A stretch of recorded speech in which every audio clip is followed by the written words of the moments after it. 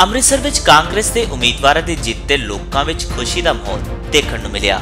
ਅੰਮ੍ਰਿਤਸਰ ਦੇ ਖਾਲਸਾ ਕਾਲਜ ਦੇ ਬਾਹਰ ਕਾਂਗਰਸ ਪਾਰਟੀ ਦੇ ਵਰਕਰ ਆਪਣੇ ਉਮੀਦਵਾਰਾਂ ਦੀ ਜਿੱਤ ਦੀ ਖੁਸ਼ੀ ਵਿੱਚ ਭੰਗੜੇ ਪਾ ਰਹੇ ਸਨ। ਇਸ ਮੌਕੇ ਤੇ ਕਾਂਗਰਸ ਦੇ ਉਮੀਦਵਾਰ ਗੁਰਜੀਤ ਸਿੰਘ ਔਜਲਾ ਨੇ ਆਪਣੀ ਜਿੱਤ ਤੇ ਵੋਟਰਾਂ ਦਾ ਧੰਨਵਾਦ ਕੀਤਾ। ਇਸ ਦੌਰਾਨ ਔਜਲਾ ਨੇ ਕਿਹਾ ਕਿ 10 ਸਾਲਾਂ ਤੋਂ ਬਾਅਦ ਪੰਜਾਬ ਵਿੱਚ ਕਾਂਗਰਸ ਦੀ ਸਰਕਾਰ ਬਣਨ ਜਾ ਰਹੀ ਹੈ। ਇਹ ਸਭ ਲੋਕਾਂ ਦਾ ਪਿਆਰ ਹੀ ਹੈ। ਇਸ ਮੌਕੇ ਨਵਜੋਤ ਸਿੰਘ ਸਿੱਧੂ ਵੀ ਚੋਣ ਜਿੱਤਣ ਤੋਂ ਬਾਅਦ ਖਾਲਸਾ ਕਾਲਜ ਪੁੱਜੇ ਅਤੇ ਸਿੱਧੂ ਆਪਣੀ ਗੱਡੀ ਵਿੱਚੋਂ ਬਾਹਰ ਨਿਕਲ ਕੇ ਲੋਕਾਂ ਦਾ ਹੱਥ ਜੋੜ ਕੇ ਧੰਨਵਾਦ ਕਰਦੇ ਨਜ਼ਰ ਆਏ।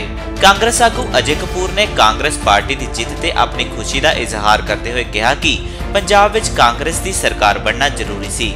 ਇਸ ਦੌਰਾਨ ਅਜੇ ਕਪੂਰ ਨੇ ਕਾਂਗਰਸ ਦੇ ਵਰਕਰਾਂ ਨਾਲ ਮਿਲ ਕੇ ਭੰਗੜੇ ਪਾਏ ਅਤੇ ਕਾਂਗਰਸ ਪਾਰਟੀ ਜਿੰਦਾਬਾਦ ਦੇ ਨਾਅਰੇ ਵੀ ਲਗਾਏ।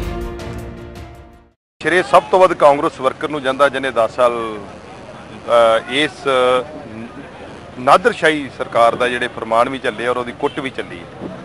ਔਰ ਉਹਨਾਂ ਲੋਕਾਂ ਨੇ ਜਿਹੜਾ ਫੈਸਲਾ ਕੀਤਾ ਹੈ, ਕੈਪਟਨ ਅਮਰਿੰਦਰ ਸਿੰਘ ਜੀ, ਜਿਹੜੇ ਸੀਐਮ ਬਣ ਜਾ ਰਹੇ ਨੇ ਔਰ ਕਾਂਗਰਸ ਪਾਰਟੀ ਸਰਕਾਰ ਬਣ ਜਾ ਰਹੀ ਹੈ।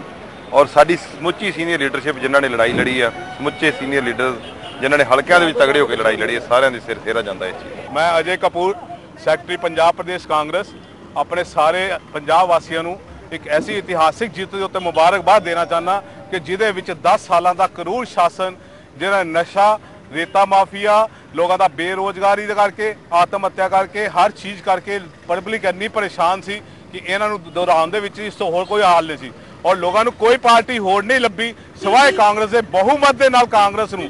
ਸੋ ਔਰ ਔਜਲਾ ਸਾਹਿਬ ਨੂੰ ਵੀ ਲੱਖਾਂ ਵੋਟਾਂ, ਲੱਖਾਂ ਦੀ ਗਿਣਤੀ ਦੀ ਵੋਟਾਂ ਨੂੰ ਜਿਤਾ ਕੇ ਪਬਲਿਕ ਨੇ ਸਾਬਿਤ ਕਰ ਦਿੱਤਾ ਕਿ ਕਾਂਗਰਸ ਪਾਰਟੀ ਹੀ ਐਸੀ ਪਾਰਟੀ ਹੈ ਜਿਹੜੀ ਦੇਸ਼ ਨੂੰ ਬਚਾ ਸਕਦੀ ਹੈ ਔਰ ਅੱਗੇ ਲਿਜਾ ਸਕਦੀ ਹੈ।